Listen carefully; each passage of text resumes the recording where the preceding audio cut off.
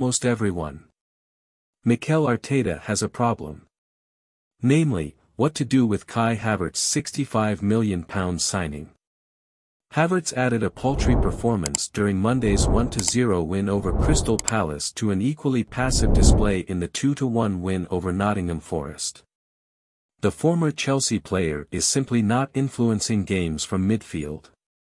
The truth is, Havertz either works as a striker in the Robin van Persie mold or is nothing for Arsenal. Do not believe me? Just ask former Gunners right back Bakary Sagna.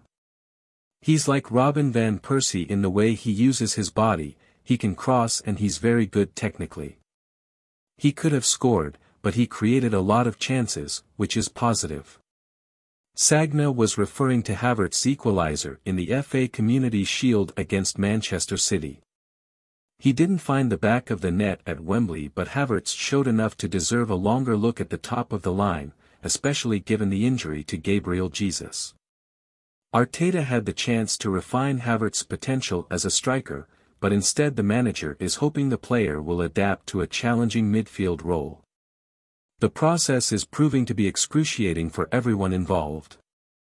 Even a cursory glance at his numbers against Palace shows Havertz struggling to exert his influence. He managed just 39 touches, 27 passes and a single tackle and kick at Selhurst Park, according to Sky Sports. The lack of positivity, Havertz only caught one key pass against the Eagles, was reflected in most observers' player ratings. For example, football writer Charles Watts correctly noted how Havertz had a lot of touches but didn't cause any trouble. Watts' thoughts echo Football.London's Kaya Kaynak assessment, who identified how the game seemed to slow down a bit when it came to him.